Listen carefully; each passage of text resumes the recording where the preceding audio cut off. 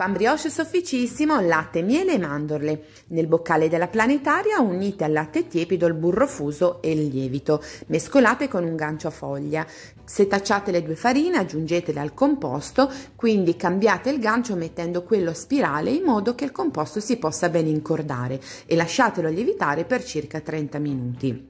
Poi stendetelo con le mani e procedete a fare le pieghe e ripetete questa operazione di lievitazione un'altra volta.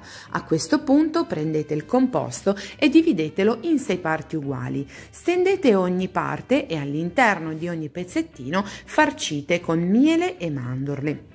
Procedete anche alla chiusura di questi pezzetti e appoggiateli su una teglia del diametro di circa 20 cm. Spennellate il tutto con acqua e miele, cospargete di mandorle e cuocete in forno statico a 200 gradi per circa 25 minuti.